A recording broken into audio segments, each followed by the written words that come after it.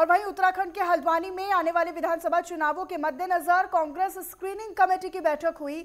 बताते चले कि कांग्रेस कार्यालय स्वराज आश्रम में नैनीताल और उधम सिंह नगर ज़िले की पंद्रह विधानसभा सीटों की स्क्रीनिंग हुई। स्क्रीनिंग कमेटी ने कांग्रेस के सभी संभावित दावेदारों से विस्तार से चर्चा भी की।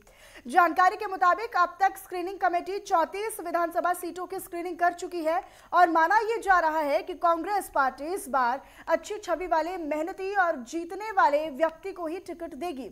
इसी क्रम में, इसी कड़ी में 22 दिसंबर के बाद स्क्रीनिंग कमेटी केंद्रीय चुनाव समिति को अपनी रिपोर्ट भी सौंपेगी और आचार संहिता लागू होने से पहले कांग्रेस कुछ सीटों पर प्रत्याशियों का ऐलान भी कर सकती है।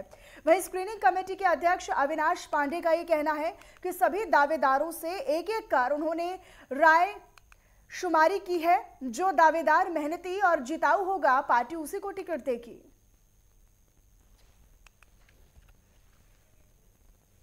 नोटिफिकेशन भी नहीं हुआ, लेकिन हमारी कोशिश है कि संगठन जिस प्रकार से पूरे जोश के साथ काम कर रहा है और जिस प्रकार से पूरा सहयोग हमारे सभी जिला कांग्रेस कमेटियों से मिल रहा है, ये तक हमारी रिपोर्ट केंद्रीय जाँच समिति को केंद्रीय समिति के सामने, चुनाव समिति के सामने सबमिट होगी